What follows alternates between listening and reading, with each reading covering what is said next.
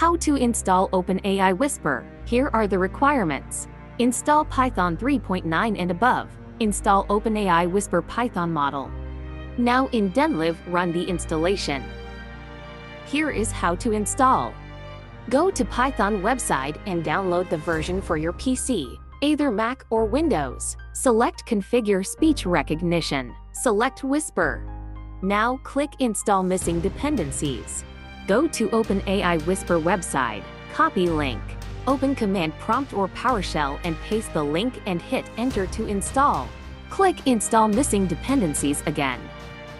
So it is now ready to start transcript your audio. Enjoy!